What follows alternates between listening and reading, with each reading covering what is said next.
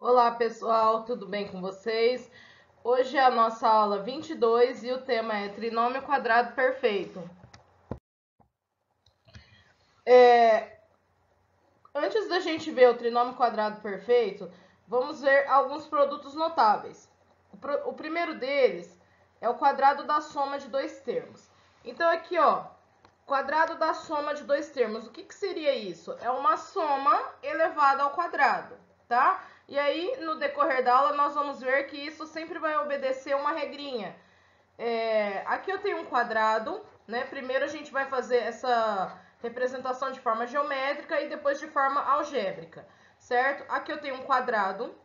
Esse quadrado, ele tem lado A mais B, certo? Ó, daqui até aqui mede A, daqui até aqui mede B. Daqui até aqui mede A, daqui até aqui mede B tá? Quadrado é um polígono de quatro lados e ele tem todos os lados iguais. Bom, se eu fosse somar a área desse, é, se eu fosse, desculpa, se eu fosse calcular a área desse quadrado, o que, que eu tenho que fazer? Lado ao quadrado, lado vezes lado. Eu faria A mais B vezes A mais B, que é a mesma coisa que A mais B ao quadrado, certo? Então, a área desse quadrado pode ser calculada como A mais B elevado ao quadrado. E se eu pegar esse quadrado e dividir ele em quatro regiões, certo? Eu vou dividir ele em dois quadrados e dois retângulos. Então, eu dividi aqui, ó, tá? Dividi aqui e aqui, certo? Eu fiquei com um quadrado de lado A, aqui eu tenho um quadrado aqui, ó, A por A. Outro quadradinho aqui embaixo de lado B, tá? B por B aqui embaixo. E dois retângulos A por B, tá? Então, eu tenho aqui base A, altura B, Aqui eu tenho base B, altura A, mas de qualquer forma, como a área lado vezes lado, seria um retângulo A por B, certo? Dividir aqui o meu quadrado em quatro regiões. Quatro regiões quadrangulares, dois quadrados e dois retângulos. Vou calcular a área de região por região. Ó, esse quadrado A por A, a área dele vai ser A vezes A, que é A ao quadrado. Certo? Quadradinho de lado B, a área dele vai ser B vezes B, que é B ao quadrado. Esse retângulo aqui, ó, de lado A, de lados A e B, base vezes altura, lado vezes lado, A vezes B. E esse outro retângulo aqui, ó, também A vezes B. Outra forma de achar a área do meu quadrado, então, seria somando, somando a área dessas quatro regiões aqui, ó essa mais essa mais essa mais essa também vai dar área do quadrado.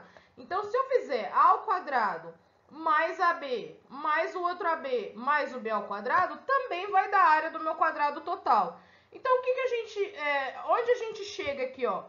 Ó, igualando as duas expressões. A primeira forma de eu calcular a área do quadrado foi lado vezes lado. Peguei o A mais B, multipliquei pelo A mais B, vai dar A mais B ao quadrado. Forma foi dividindo o quadrado em quatro regiões, dois quadrados e dois retângulos, calculei a área de região por região e somei. Ou seja, A mais B ao quadrado vai ser a mesma coisa que a soma dessas quatro regiões aqui. A ao quadrado mais AB mais AB mais B ao quadrado, tá? Esse AB mais AB a gente pode somar, tá? Porque eles são monômios aí é, semelhantes. AB e AB pode ser somado. Então, 1AB mais 1AB é 2AB. A ao quadrado mais 2AB mais B ao quadrado. Aqui nós fizemos a, o cálculo de forma geométrica, certo? Uma representação geométrica. Esse cálculo ele pode ser feito de forma algébrica e vocês vão ver que realmente A mais B ao quadrado vai chegar nessa expressãozinha aqui, A ao quadrado mais 2AB mais B ao quadrado. Essa expressão, a ao quadrado mais 2ab mais b ao quadrado, ela tem três termos, por isso trinômio. Por que trinômio quadrado perfeito? Trinômio porque ela tem três termos e quadrado porque ela representa a área de um quadrado, tá? Então, a área de um quadrado representada por esses três termos é chamada de trinômio quadrado perfeito. No slide anterior, nós vimos é, que essa igualdade funciona geometricamente. Vamos ver agora que algebricamente também dá certo. Sem eu fazer o desenho, sem eu traçar o quadrado e dividir e tal, o que, que seria A mais B ao quadrado? Bom, isso aqui é uma potência. Todo número elevado ao quadrado é ele vezes ele mesmo, né? Assim como 3 ao quadrado é 3 vezes 3, A mais B ao quadrado é A mais B vezes A mais B. E aí, nós vamos fazer aqui o quê? Propriedade distributiva da multiplicação. Então, o que, que a gente vai fazer aqui, ó? Vou multiplicar um por um. A vezes A, A ao quadrado. A vezes B, AB. Depois eu vou multiplicar o B. B vezes A, BA, ou AB, né? A ordem dos fatores não altera o produto. E B vezes B, B ao quadrado, tá? Então, ficou A ao quadrado mais AB mais BA mais B ao quadrado. E como nós vimos anteriormente, AB e BA são monômios semelhantes. AB e BA é a mesma coisa, né? Podem ser somados A ao quadrado mais 2AB mais B ao quadrado. Chegamos na mesma igualdade daqui, eh, daqui estávamos tentando representar ali geometricamente, tá? Então, tanto algebricamente quanto geometricamente tem que dar o mesmo resultado e a área do quadrado foi representada por um trinômio, uma expressão com três termos, por isso trinômio quadrado perfeito. Ó, vamos fazer mais um exemplo para vocês verem que vai ser sempre seguir aí a mesma coisa, certo? Sempre vão dar resultados semelhantes. Representação geométrica de um quadrado de lado A mais 1. Anteriormente nós fizemos A mais B, agora eu peguei um exemplo com A mais 1. Tá? Então eu peguei aqui um quadrado A mais 1, e aí é... dividi também em quatro regiões, igual nós fizemos anteriormente, dois quadrados e dois retângulos, tá? Primeiramente, se eu fosse calcular a área dele inteiro aí, sem divisão, sem nada, o que, que eu ia fazer? A mais 1, que multiplica A mais 1, que é a mesma coisa que A mais 1 ao quadrado.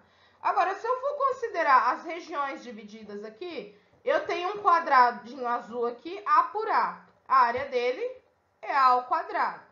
Eu tenho um quadradinho amarelo aqui, que a área dele é 1 por 1. Uma vez 1, 1 ao quadrado, tá aqui. E eu tenho dois retângulos de é, A vezes de A por 1. Então, A vezes 1, A vezes 1, 1 vezes A, tanto faz. Coloquei aqui também. Somando, eu vou ter o quê? A ao quadrado mais A mais A mais 1, né? E A mais A é 2A. Aqui chegamos também num trinômio quadrado perfeito. Então, sempre a gente vai conseguir é, expressar aqui é, com três termos a área desse quadrado trinômio quadrado perfeito. Se eu fizer algebricamente A mais 1 vezes A mais 1, eu vou chegar no mesmo resultado. Agora, vamos fazer o cálculo de x mais 5 ao quadrado algebricamente só. Se eu fosse fazer geometricamente, o que, eu teria que fazer? Pegar um quadrado, colocar os lados x mais 5, x mais 5, né, que seria x mais 5 ao quadrado, e mostrar que ali eu vou dividir em 4 é, quadriláteros, dois quadrados, dois retângulos, um quadrado seria x por x, o outro quadrado seria 5 por 5, e mais dois retângulos x por 5, somar ali, né, área por área, que daria a mesma coisa que x mais 5 ao quadrado. Ou no caso, que é o que nós vamos fazer aqui, fazer só algebricamente, só usando a distributiva da multiplicação. Por quê? x mais 5 ao quadrado é a mesma coisa que x mais 5 vezes x mais 5. Então, aqui eu tenho que multiplicar um por um, ó x vezes x, x ao quadrado. x vezes 5, 5x. 5 vezes x, 5x também. E 5 vezes 5 é 5 ao quadrado, que dá 25. Aqui nós podemos somar os monômios semelhantes, que seria o 5x e o outro 5x, né? 5x mais 5x dá 10x, mais 25. Então, o que, que a gente percebe? O quadrado da soma, ó, o quadrado da soma, uma soma ao quadrado sempre vai resultar num trinômio quadrado perfeito.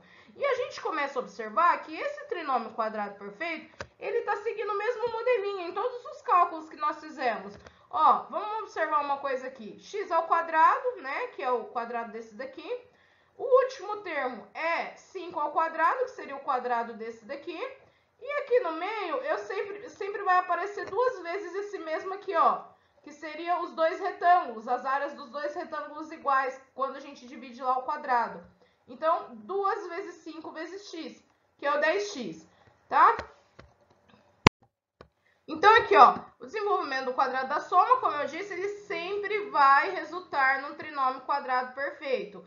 E como que a gente resolve esse trinômio quadrado perfeito? x mais y ao quadrado sempre vai ser x ao quadrado mais 2xy, que seriam os dois retângulos, mais y ao quadrado. Ó, percebam, aqui é a área de um quadrado, aqui é a outra área do outro quadrado, e aqui são as áreas dos dois retângulos, quando a gente divide o quadrado maior, tá? É o que aconteceu aqui no slide anterior que eu acabei de passar. Tinha dado x ao quadrado, aqui no meio a gente fez duas vezes uh, o 5x, e depois, por último, a gente tinha feito 5 ao quadrado. Em todos os exemplos que a gente fez, seguiu essa regra. Lá no A mais B também, deu A ao quadrado mais 2AB mais B ao quadrado. Quando eu fiz A mais 1 ao quadrado, o que, que aconteceu? Deu A ao quadrado mais 2A mais 1, tá? Então, sempre vai seguir esse modelinho aqui. Como que a gente guarda isso? Para a gente não precisar ficar fazendo. Toda vez que eu tiver um quadrado da soma, fazer um vezes o outro e multiplicar um por um, ou precisar desenhar o quadrado. A gente vai guardar isso aqui, ó. Quadrado da soma é o quadrado do primeiro termo mais duas vezes o primeiro termo vezes o segundo termo, mais o quadrado do segundo termo. Então, ó, quadrado do primeiro termo duas vezes o primeiro vezes o segundo. Aqui no caso a gente está falando que o primeiro é o x, o segundo é o y. O primeiro termo é o x, o segundo termo é o y, mais o quadrado do segundo. Tá? Então vamos guardar isso. Esse é o primeiro produto notável que nós vamos aprender. Tá? Depois tem o quadrado da, da, da diferença e depois tem mais outros produtos notáveis pela frente. Então, esse primeiro produto notável nós vamos guardar da seguinte maneira. Quadrado primeiro mais duas vezes o primeiro vezes o segundo, mais o quadrado do segundo. Vamos ver alguns exemplos.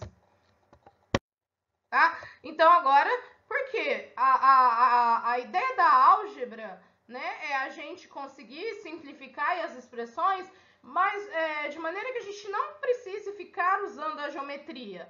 Né? Então, a geometria foi só para mostrar para vocês, para vocês enxergarem qual o significado disso mas a ideia é resolver da forma mais simplificada possível. Então, o que, que nós vamos fazer aqui nos exemplos? Nós vamos usar já a ideia que, que a gente aprendeu, ó, quadrado primeiro, mais duas vezes o primeiro pelo segundo, mais o quadrado do segundo. Não pode esquecer isso.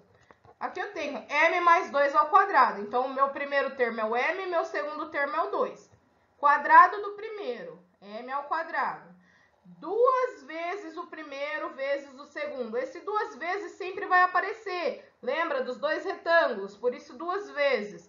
Duas vezes o primeiro vezes o segundo. Duas vezes m vezes 2. Mais o quadrado do segundo, 2 ao quadrado. Depois de feito isso, nós vamos só terminar de simplificar e unir o que, que pode ser unido e finalizar. Então, m ao quadrado, continua m ao quadrado, não dá para fazer nada. 2 vezes m vezes 2 dá 4m. 2 vezes 2, 4. E 2 ao quadrado, 4. E resolvemos aqui o nosso quadrado da soma, tá? Outro quadrado da soma aqui. Agora, meu primeiro termo é o 3, meu segundo termo é o y. Então, quadrado do primeiro, eu já vou fazer direto, ó, tá? Vocês podem fazer essa parte aqui. E você, ou vocês, né, conforme vocês já vão se habituando, vocês já podem começar a fazer direto. Então, 3 ao quadrado é 9, quadrado primeiro. Duas vezes o primeiro vezes o segundo, duas vezes 3, 6. 6y. Mais o quadrado do segundo, y ao quadrado. E o último exemplo aqui, ó, 2x mais 4 ao quadrado. Meu primeiro termo, cuidado com isso, é o 2x agora, tá? E aí, quando eu elevo ao quadrado, eu tenho que elevar todo ele ao quadrado. Então, 2x ao quadrado mais duas vezes o primeiro é o 2x, o segundo é o 4, mais o quadrado do segundo. Então, 2x ao quadrado, eu tenho que levar um por um, ó. 2 ao quadrado, 4, x ao quadrado, x ao quadrado.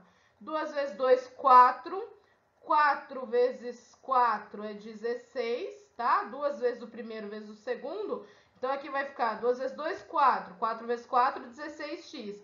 Mais o quadrado do segundo, que é igual a 16. Certo? Pessoal, na próxima aula nós vamos continuar com os produtos notáveis. Eu espero que vocês tenham conseguido acompanhar. Não esqueçam de fazer as atividades é, propostas pelo professor e até a próxima aula.